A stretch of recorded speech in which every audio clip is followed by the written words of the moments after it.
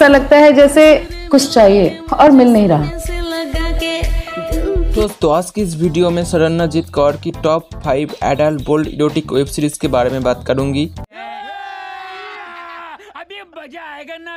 ये सारे web series देखने के बाद आपका हाथ कहा जाएगी, ये तो पता नहीं, लेकिन आपका होश ज़रूर उड़ जाएगी। चलिए दोस्तों, कार्यक्रम शुरू करती है। दोस्तों, एक बात बता देना चाहती हूँ कि इन सारी वेब सीरीज़ में काफ़ी ज़्यादा बोल्ड सीन है और सभी वेब सीरीज़ बोल्ड सीन से भरी हुई है। इस काउंटडाउन की नंबर फाइव पोजिशन पे फ़िल्म मूवीज़ की सीरीज़ लगे रहो डॉक्टर इसमें शरण कर के अलावा ख्वाहिश मैथ्यू, सिमरान कौर भी है। सीरीज़ में स्टोरी के नाम पे कुछ भी नहीं है। सीरीज़ शुरू से लेकर एंड तक बोल्ड इरोटिक एडल्ट सीन से भरी हुई है। काउंटडाउन की नंबर फोर पोजिशन पे हॉटशॉट की सीरीज़ मूव ऑन इसमें रेखा मानव सरकार भी काम किया है। सीरीज़ में बहुत ही अच्छा स्टोरी दिखाई है। सीरीज़ में एक सिंपल लव स्टोरी दिखाई है, जो कॉम्प्लिकेटेड हो जाती है। सीरीज़ में ट्रायंगुलर लव स्टोरी को दिखाई है। काउंटडाउन की नंबर थ्री पे है हॉटशूट की सीरीज़ ऑनलाइन इस सीरीज़ में स्टोरी दिखाई है एक लड़की अपने बॉयफ्रेंड का फेटफुलनेस परीक्षा करने के लिए अपने दोस्तों को शामिल करती है। दूसरी तरफ़ लड़का एक लड़की को सोशल मीडिया ज़रिए मिलते हैं, उसके बाद उसके साथ डेट करती है, उसके बाद क्या होगा, वो तो सीरीज़ देखने से ही पता चलेगा। काउंटडाउन की नंबर दो पोजिशन पे उल्लू का पलंग तोड़ की नया सीरीज़ ज़रूरत, अगर आप लोग ज़रूरत सीरीज़ का रिव्यू नहीं देखा तो ऊपर में आई बटन में लिंक दिया है, ज़रूर देख लेना।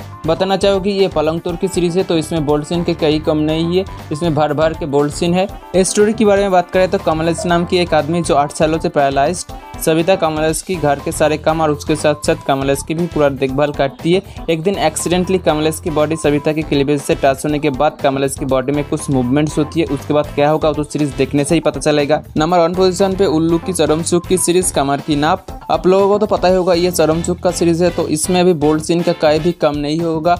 इसमें भी बोल्ड सीन भर भर के आपको देखने को मिल जाएगी।